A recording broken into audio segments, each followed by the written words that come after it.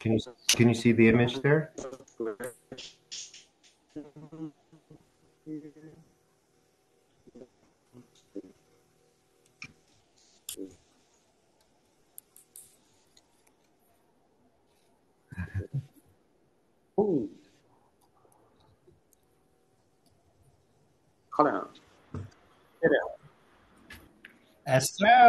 Estelle, that's. I mean, how how early No, is it? I'm in Is it, uh, Düsseldorf. are you in Düsseldorf? I'm in Okay. Düsseldorf.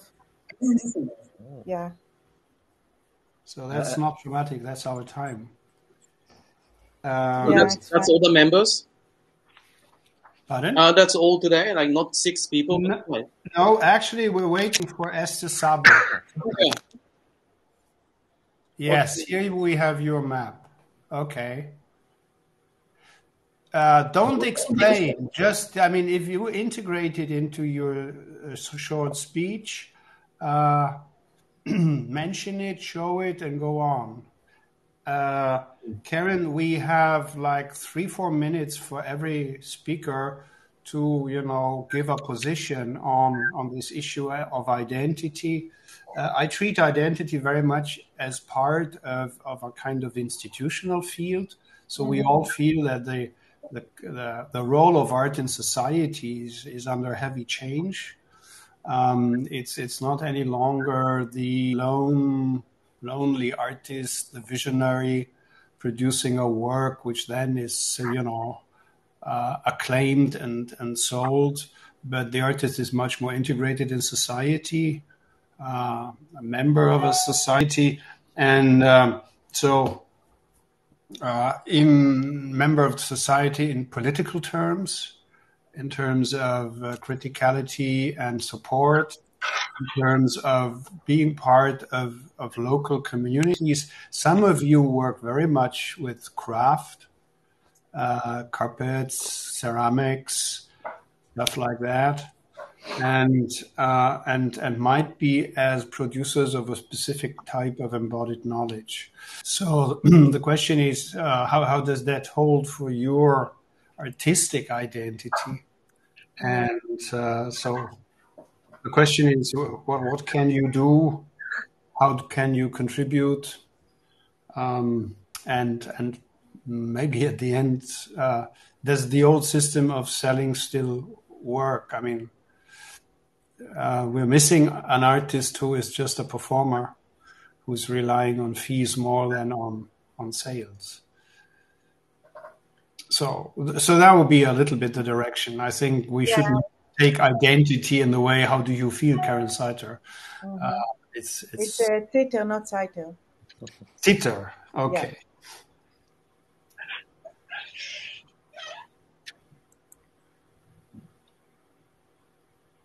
Good. Good. How much time do we have? We have three minutes to go. hmm And then I will say a few words at the beginning and then Keren, you might start if we follow an alphabetic order in terms Oh, really? of brightness and Good. Uh, fine. So Carlos appeared to be the first one, but Yeah. I was even complaining to mutual friends, Keren.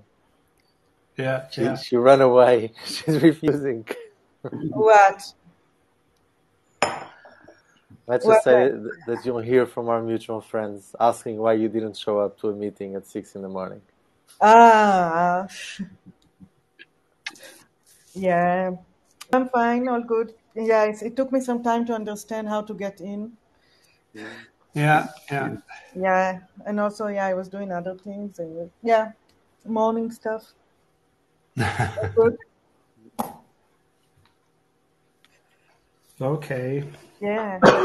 We have another minute and then we should go go live. Yeah. No problem. I think we don't have, have many views anyhow, so you never know. There might be countries where it's like two o'clock in the afternoon. It's But lunch. then they, yeah, then People are very bored. This video also gonna be the on the YouTube, right? In the future. Ah, okay, good. Yeah, Yeah, archives. archives exactly. Okay, colleagues, I'm going live now. Behave.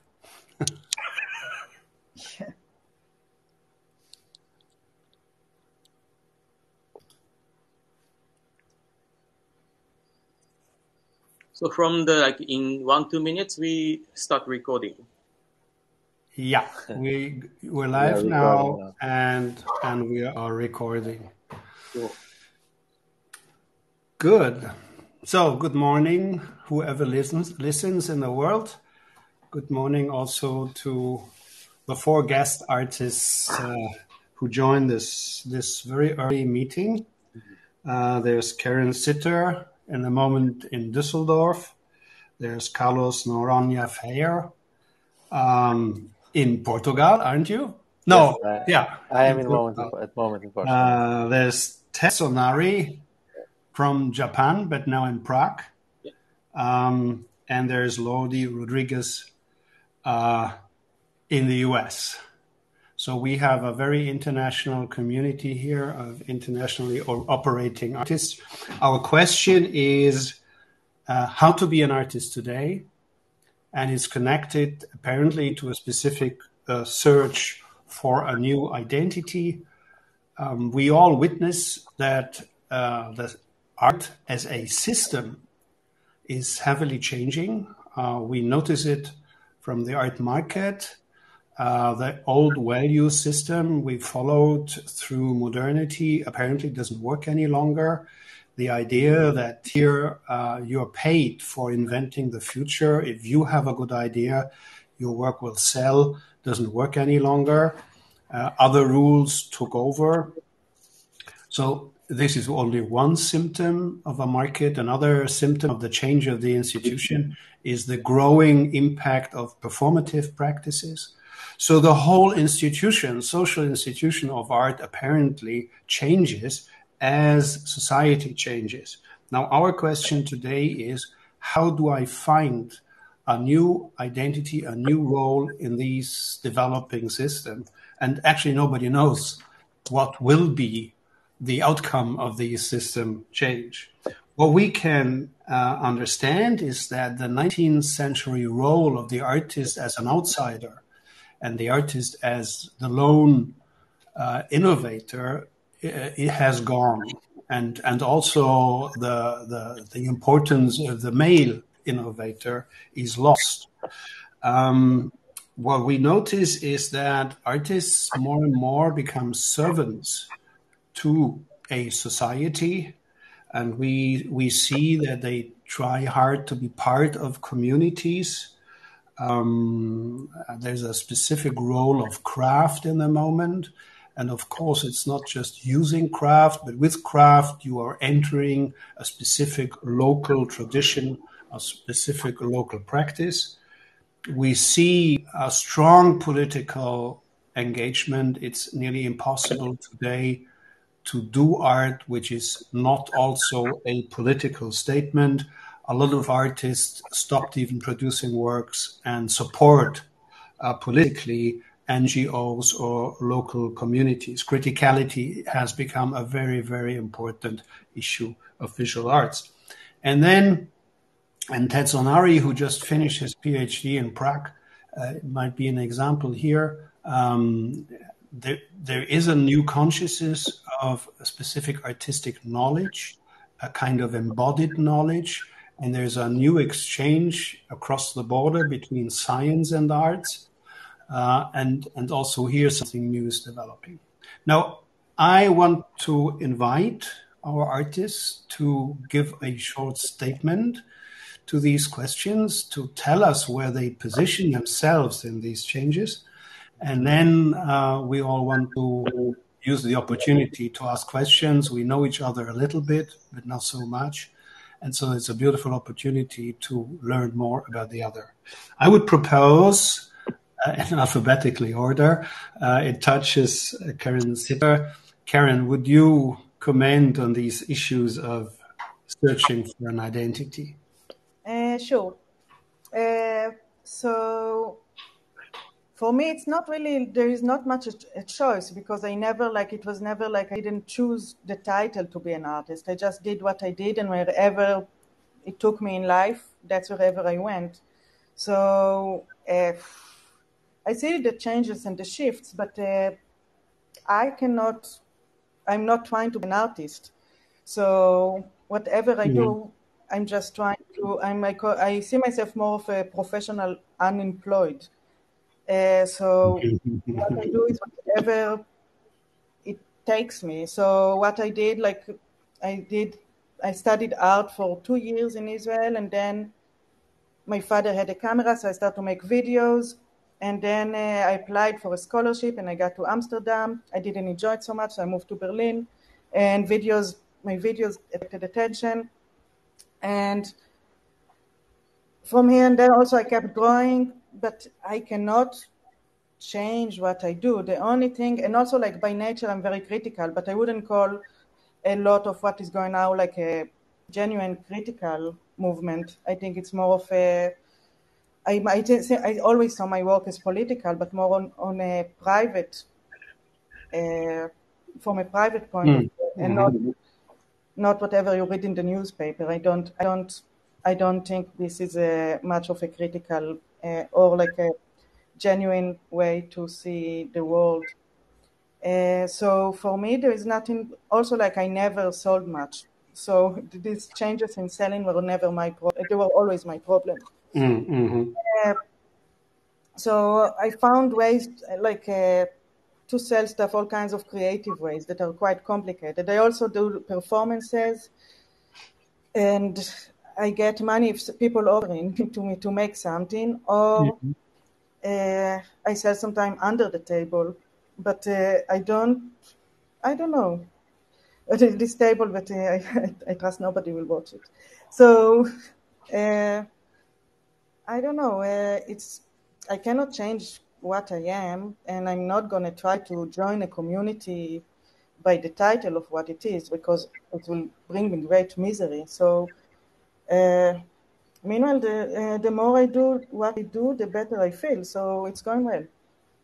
It's not okay. Better, but, yeah. okay. That sounds very normal, but on the other way, it sounds also very significant for a today's artist position in society. I mean, we, uh, you mentioned this very beautiful um, paraphrase, uh, the professional unemployed. I mean, this seems to be a very, very nice description of, of the ambivalent role, also financially ambivalent role of the artist in this kind of post-capitalist society.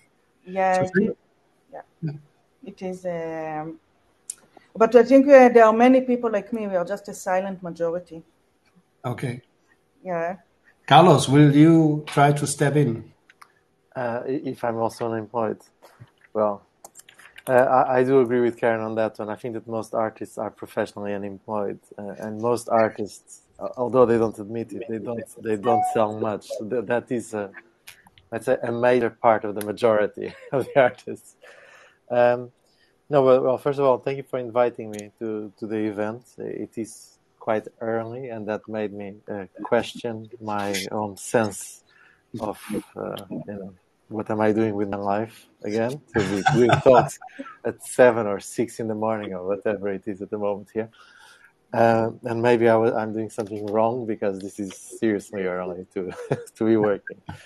But um, to, to um, okay, not not not trying to be funny now. I'll try to just put forward a very straight message of uh, the question of identity and what I, I personally um, take from it of how I understand it.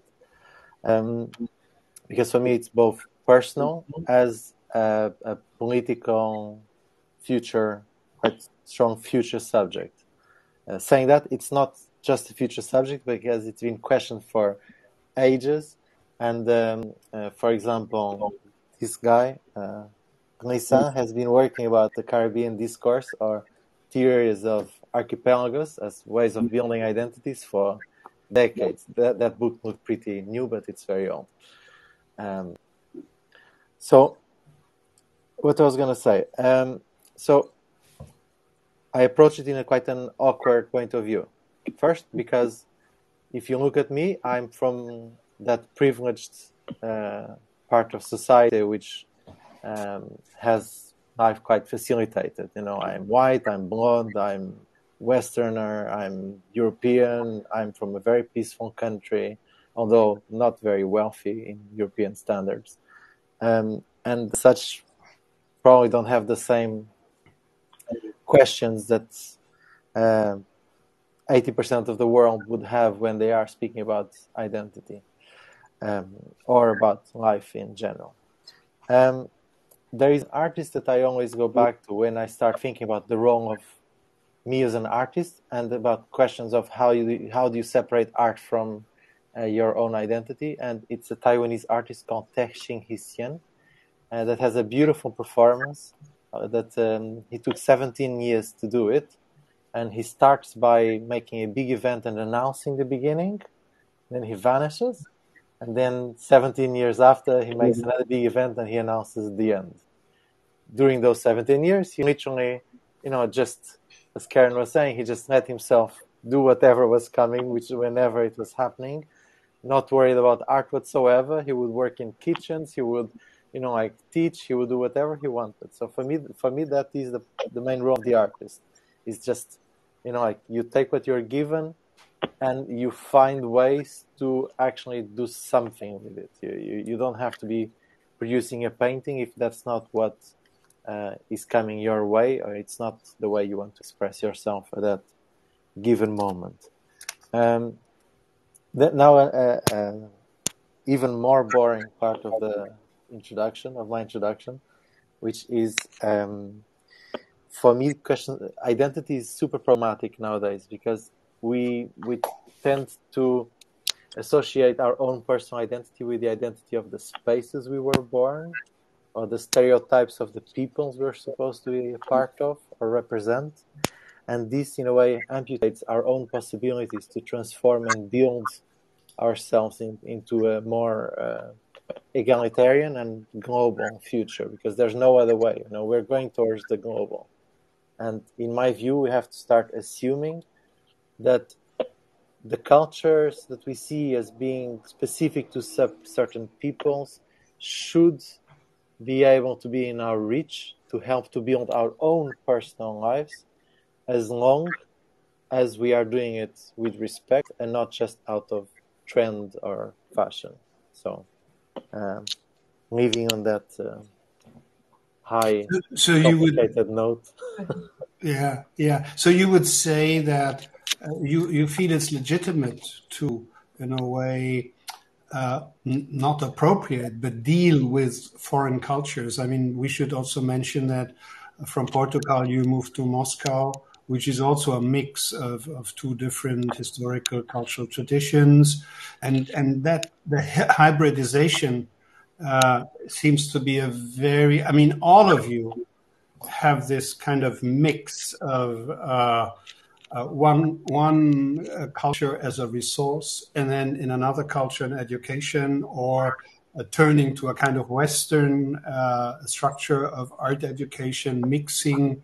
Uh, I don't know Japanese art with uh, modernist art, mixing um, um, other cultural backgrounds. So, so hybridity seems to be a very important aspect. Well, hybridity is something that we cannot escape. You only need to watch TV to start getting influenced and start changing your way of seeing and your way of doing things. What I, I don't defend an assimilation or absorbing of other people's culture, um, but that is it's quite a complicated subject for such a short amount of time because when you're speaking of culture, you're speaking about a group of specific predicates, you know, a, a very large group of characteristics all put together as represent representative of people from a specific geographical or geopolitical location, you know, and that alone is problematic because you're creating a stereotype about those people.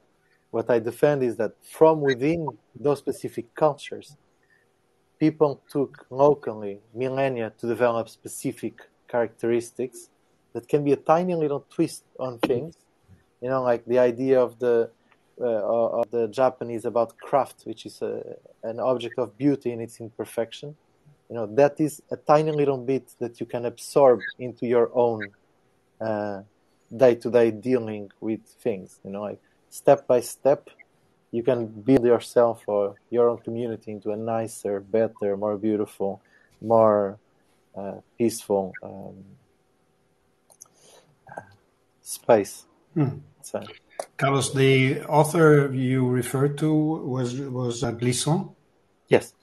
Could you make might be make a short note uh, here in the talk for the guests we have, if just in case if they uh, want to refer to this book, Glissant actually is one of the big uh, proponents of, of a kind of hybrid uh, cultural practice. Because from the States sounds in the moment very normal. An, an American artist, America dominated the art world since 80, 80 years or even more. Um, but also, you have a Philippine background. Uh, and might be if you tell us something about your experiences with today's artistic identity. Yes. Uh, well, thank you so much for having me here to talk about this. Since identity is has been at the core of my work, even though my work uses a lot of cartography and maps as a visual um, source. Um, the essence of my work is about identity, and in the um, in the beginning, when I was an artist um, or studying to be an artist, I grew up in Texas, and then I went to undergraduate school in New York, and then graduate school in California.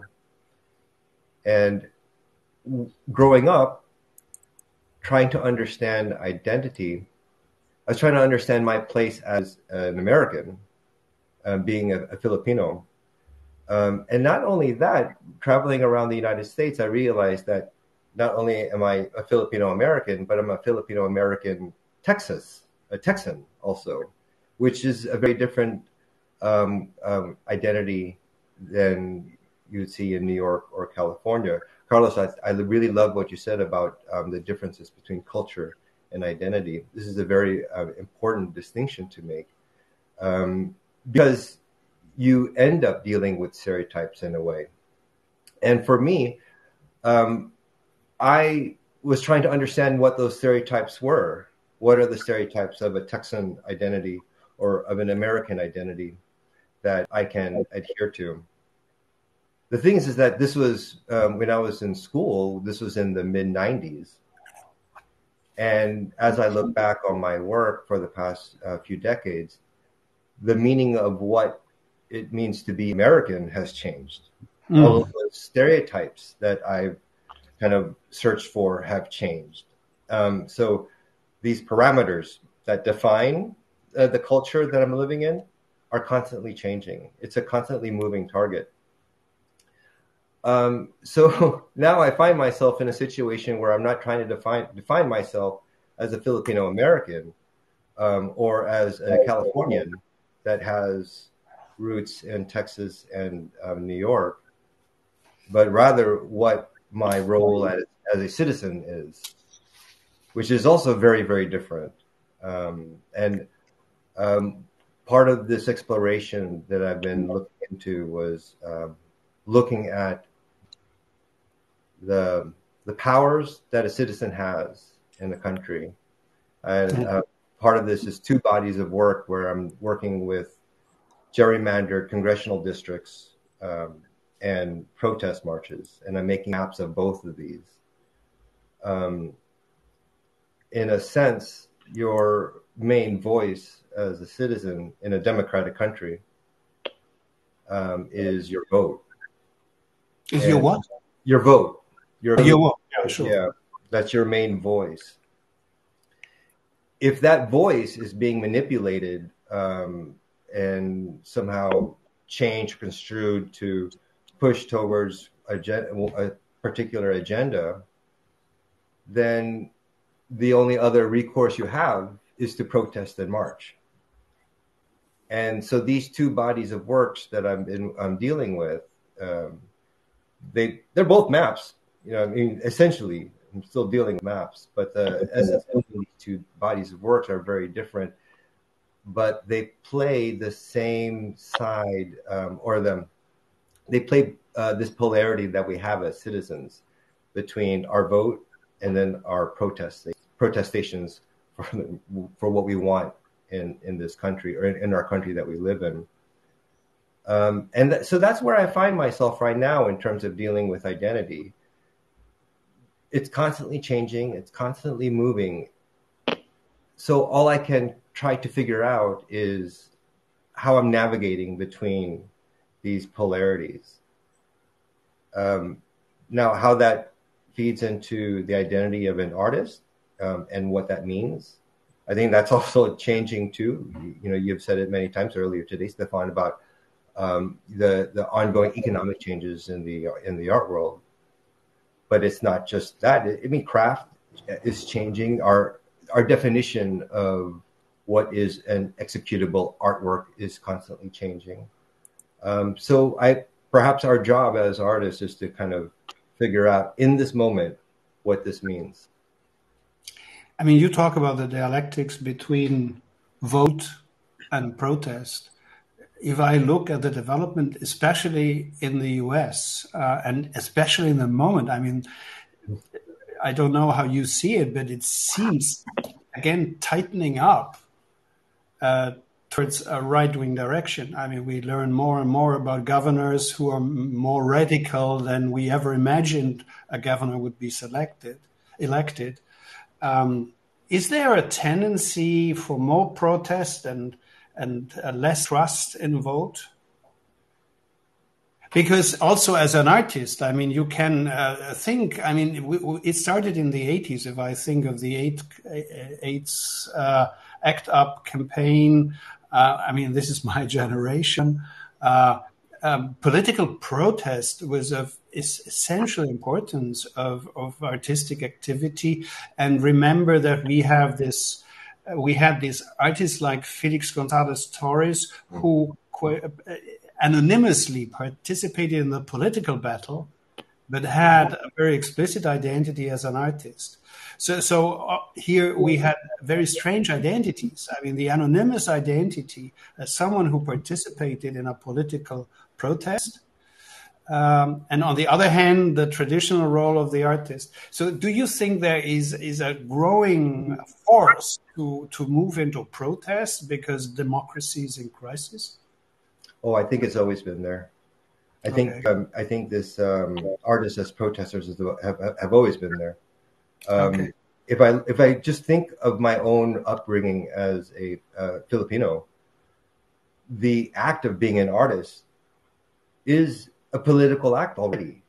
It mm. I'm already I'm pushing back against the stereotypes of my culture of in the United States, the stereotype of most Filipino Americans is to become a nurse or in the health, healthcare field. And I've shunned it. I'm, I'm not in that world at all.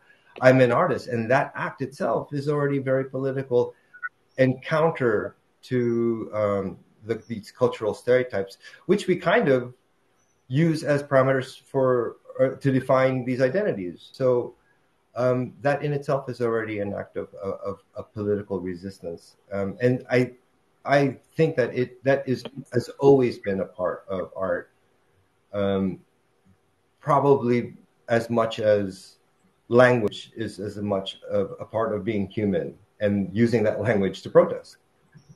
Um, okay.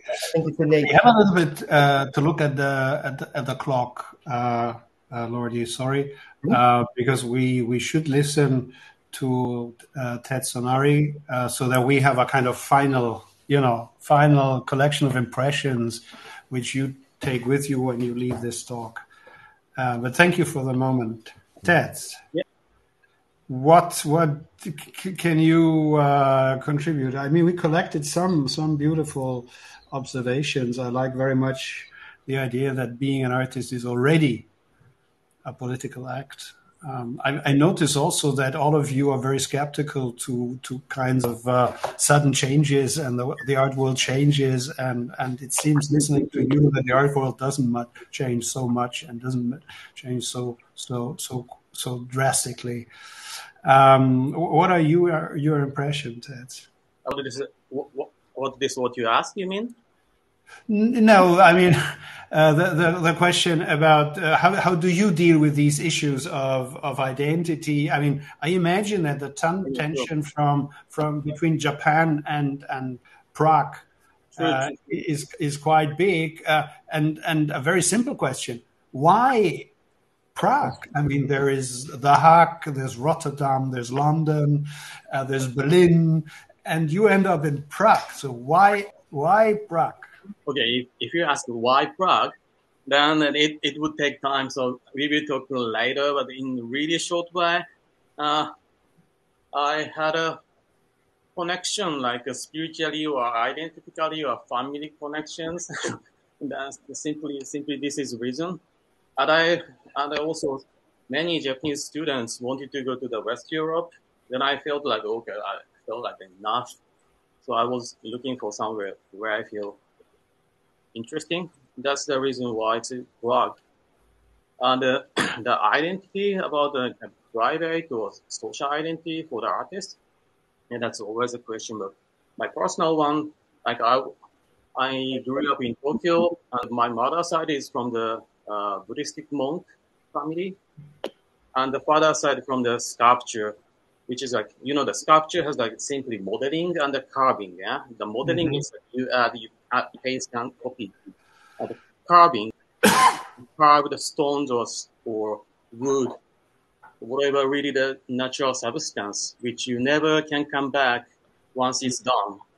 And it's, it's connects on the earth or the nature or everything what's in, what's in real. This is the, yeah, the combination of my identity that I'm already the hybrid, right? From mother and father side and connection with the society. Yeah, from that that point, yeah, I would like to focus on that the physical sense that you can have in the relationship with your object or work, and you, and in the process of this the creation and this dialogues is really the important in in in artists or in I think for, for everybody. In in that point, what you have, what you can feel, and uh, recreate the your method and the idea and developing. This is what I'm really keen on and exciting of why I'm keeping. I think. And about art, the the, this word art is running too strangely. I think like the depend on who you are or from which field, the word art is different. For example, just the philosophically sentence of art, like a definition or theory, and art for that artistic action, like innovation and this kind of creative work, or like the artists like professional full-time artists, they use a different way of art, right? And the, the art market, is art, this is really also sort of different, right? So that people they sometimes confused about what is art, what we should do. But let's divide into a few pieces, then think back so that you can see from the broader eye. Then come back together. Then let's discuss again. Uh, I think that's a three time. That's three minutes already. yeah. Okay. Okay. thanks. Good. so much money. Good. Yeah. So we finished this this round, and uh, it seems that the world doesn't change so fast uh, that I expected. Um, see, things for you seem to be much more normal. Um, I, I, collected some very nice uh, impressions. Uh, uh, yeah, the the unstable role of all the artists. I mean, you you talked about the prof- professional unemployed. Um, but yes, we should be aware that uh, th- there is no stable position uh, uh, for the artistic profession in that society, and, and that is very much. I mean, uh, Keren talked about commissioned work. There's very much uh, also this role of you know having someone who makes you work, who invites you to do something. So the project, I think, uh, is is is a very important aspect in, the moment. Um, apparently, we go to the global. Car- Carlos, you said that there, there's a mo- movement to the go- global, but but the famous the famous uh, one step uh, in front and and two back. I mean, we go global, but on the other hand, I mean, looking at the Biennale in the moment uh, the the regional seems to be a very very important aspect of, of uh, uh, today's languages. So, of so course, you... but only because you are more aware globally of the region of the regional. Okay, yeah. If you don't so, so that would globally be aware of the regional, then you cannot give it space within what you would consider usually the global history, mm. isn't it? So because you know like we got to the point where, we, where we decided western history is not global history as it's been taught sure. for centuries and now you have to intertwine it with all the local histories not just of these geopolitical locations but of the different cultures that exist in these spaces that's why you're seeing so much of this regional um, uh, or, there's such a strong focus on the regional at the moment it's yeah. fi- it's finally being brought up into you know the place it should always have been.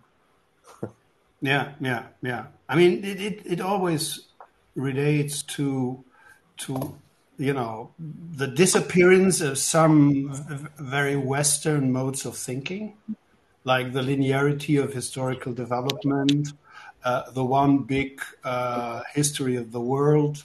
Uh, the idea of progress, all these big narrations apparently uh, are broke, and and suddenly we we much more work with kind of fragmentary histories. So so we have many histories to follow, and actually, when you refer to local tradition, it's also a way to refer to a local history, and and make a kind of montage between between different histories and between different developments.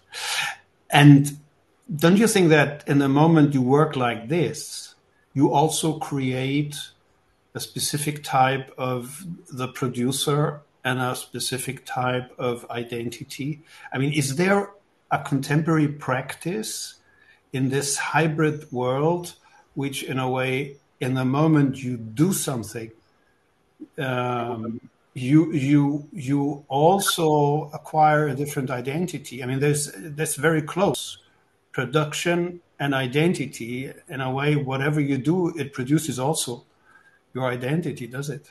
Of course. Uh, and uh, i'm not sure if anyone else wants to answer this but uh, in my case this search for identity because it's also it's it's not just about social awareness it's also about own biography. This search for identity then you know is manifested through the the work i produce um, I'm not sure if I can show. Yeah, yeah. I'm, I, there is this kind of ambivalence in talks like this. I mean, uh, when Keren started to talk, there, there's, there's, I mean, in your practice, you produce your identity. You don't really reflect on that in terms of, oh, here, yeah, I, will just keep it for one second, and I'll, I'll, I'll take it out. Yeah, because you might you might say a word about the hybridity of these carpets, which is quite important, is it?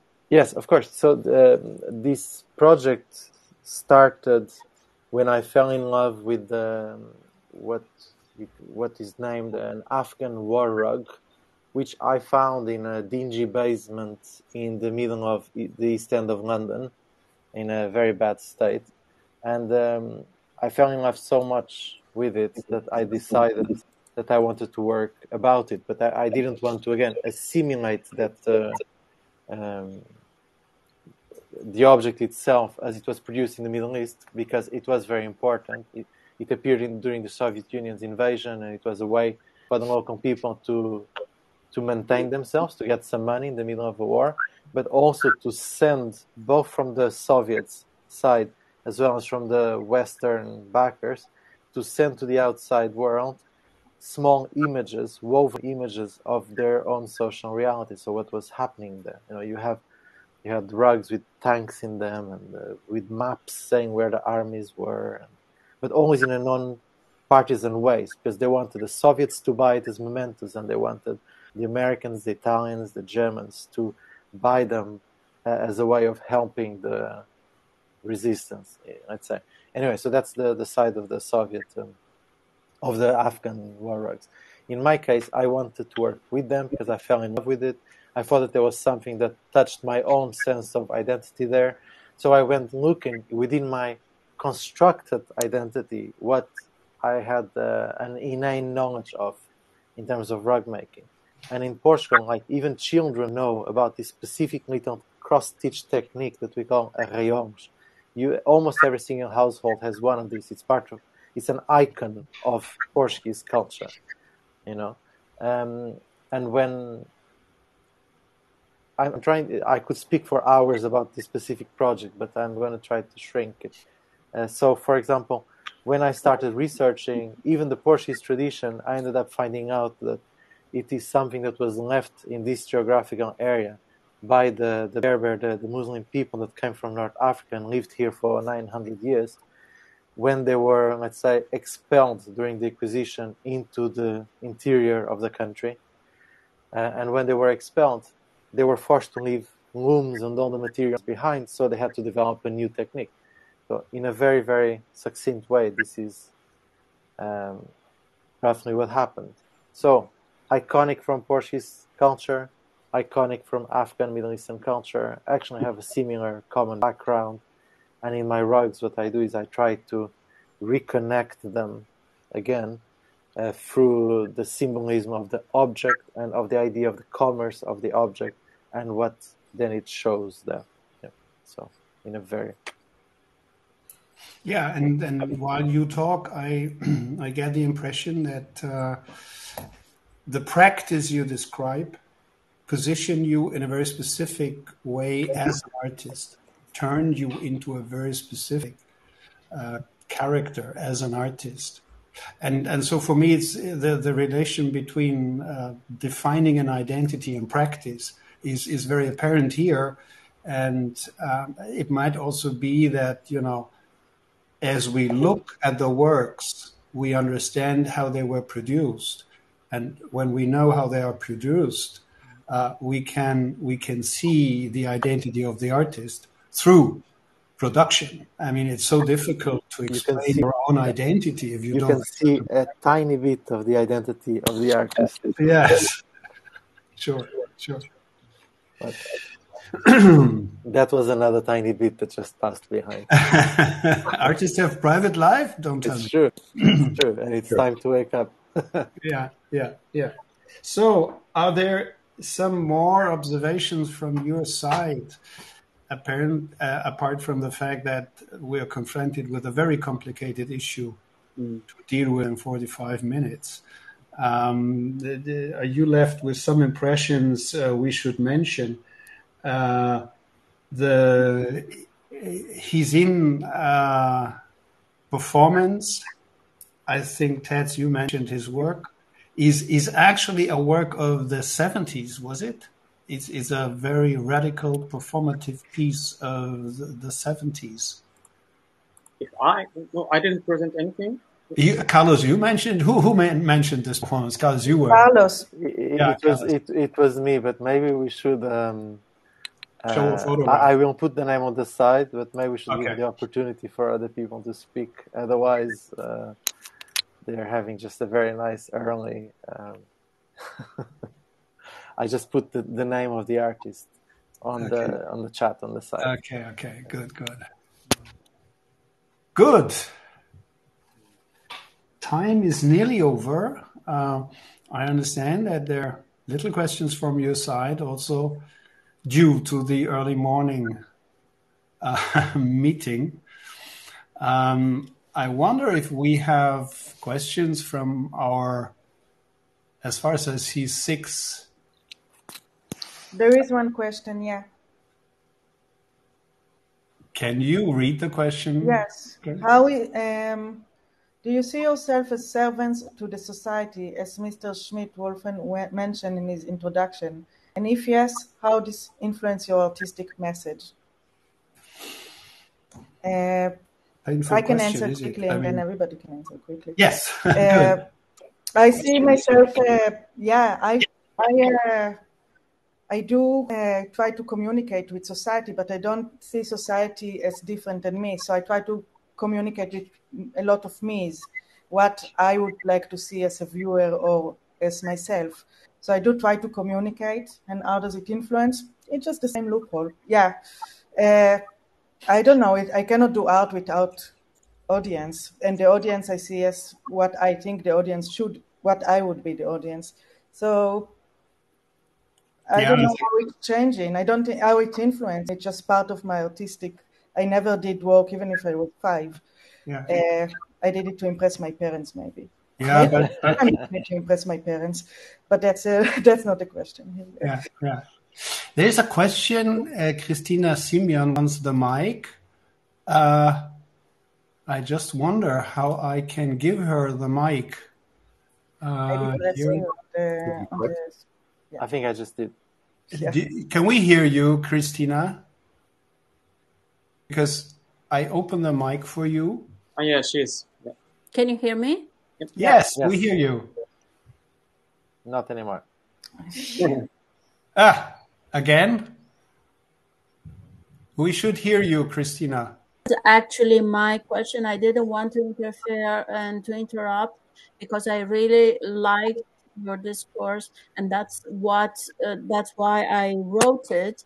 I'm very very interested about the the way you see themselves as a public servant, more or less servant of the society. And I would like to hear your other answers as well. Thank you, Keren, for your answer. Please, who else? I mean, I, I should briefly say it's metaphor. I, I, it's a very da- dangerous work. It's a metaphor. But please, who wants to comment? But that? Oh, yeah. The public servant. I think the art was for the God or God was making, but now we are losing the, this point, including the pray or believe and the trust. And that's why artist or society, and like we, everybody, is the retro, retrogressing, the sense of that. And that's why we getting this, this uh, social servant that Stephan said, yeah? And that's my opinion. Thank you. Yeah, and for me, you know, yes, I agree with that statement um, that artists are um, servants to society. But in terms of, um, I see it in terms of the influence. We should never be afraid of the type of influence that we can impart upon our audiences. Um, one of the biggest issues with identity that I'm always concerned with is representation. Um, I'm always asked about, you know, representing Filipino um, artists in a way and I think that's so much of a burden and um, a challenge for any one person to take on. So I always tell this um, to my students that are um, somehow representing a marginalized community that you're not representing them, you're adding to that identity. So don't be afraid to do what to do what comes natural to yourself because you're adding to that in the end. Yeah, yeah. I mean, this, the, the, the word servant is, is a very dangerous one. I, I like much better what, what Keren said that uh, you understand that you're part of a community. I wonder if Gauguin ever thought of being part of a community. I'm, I, I, I think he felt like an outlaw to community. And I think what has become very important is that every artist, in a way, uh, on a first level is part of his or her community, which in a way creates a different identity. Dear colleagues, thank you very much. Uh, we're at the end of our time. I enjoyed very much meeting you all. Uh, I think it was a very nice experience to have you all. And uh, can I say have a nice breakfast after that? Good. Okay, thank you. Goodbye. Bye. Bye bye. Bye. Bye. Bye bye.